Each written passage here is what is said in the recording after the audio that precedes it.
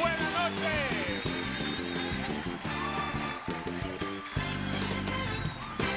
Ya, mamita, ya.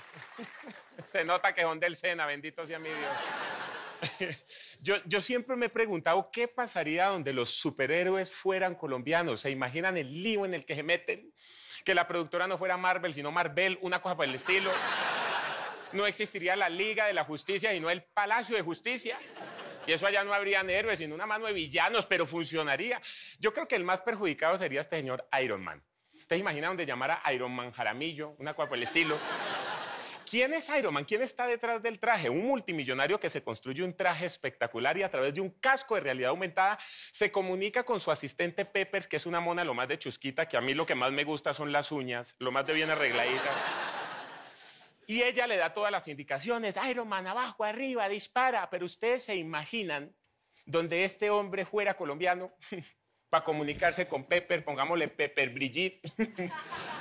Usted se imagina diciéndole él, mamita, ¿disparo o no disparo? Y ella dispare, dijo, pero córrase un poquito, mamacita, que se le oye entrecortado. ¿Qué es eso? No le funcionaría. Vea, yo todos los días, todos los días, le doy gracias a Dios que los Transformers aterrizaron en Estados Unidos y no en Colombia. Ustedes se imaginan, claro, ellos llegan, aterrizan y se convierten en el primer vehículo que ven. ¿Se imaginan Optimus Prime donde aterriza en la Caracas con 34? ¿En qué más se va a convertir? Se llamaría Transmillennium Prime. La voz del original es Tenemos que salvar a los humanos. La voz de este sería próxima parada. Avenida Jiménez, no hombre. ¿Cuál es el enemigo de Optimus Prime? Megatron. El enemigo de este, Megatrancon. Una cosa por el estilo. No le iría muy bien. Además, no podría convertirse. ¿Cómo se va a convertir con ese bus taqueado de gente? No. Pero a este no le iría tan mal. Al que le iría mal sería al, al, amigo de él, Bumblebee. ¿Se acuerdan? El que se convierte en un, en un camaro. Uy, ¿en qué se va a convertir aquí? Les doy una pista, es amarillito. Sería el Transformers más inútil de toda la historia de los Transformers. Imagínense los amigos diciéndole allá pidiendo apoyo, Bumblebee, estamos aquí en la, en la autopista norte con 220 y este diciendo, ah, no, yo por allá no voy. No, olvídese, mijo. Además estoy en pico y placa, no joda. ¿Cuál sería el enemigo de este? Ubertron. Ya, y lo jode, lo jode. Pero ¿saben a quién sí le iría mal donde fuera colombiano? A este señor Hulk. ¿Quién es Hulk? Eso es un tipo, un profesor, un científico ahí raro, que le da rabia. No, no se puede enojar. No le puede dar rabia porque se pone verde de la ira.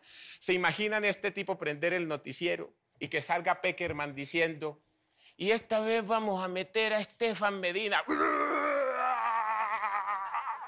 Estefan, no. Es una mezcla.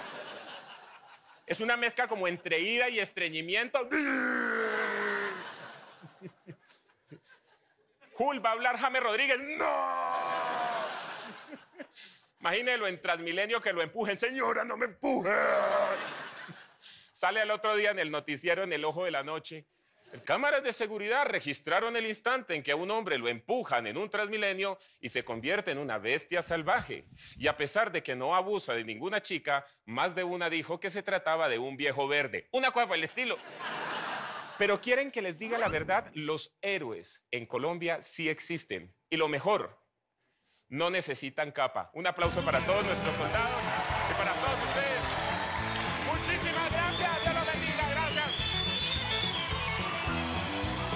Hoy en día, cuando están en una fiesta, en una rumba, y de pronto la muchacha termina amaneciendo con el muchacho, al otro día lo primero que dices, ay, yo cuántas cervezas me habré tomado.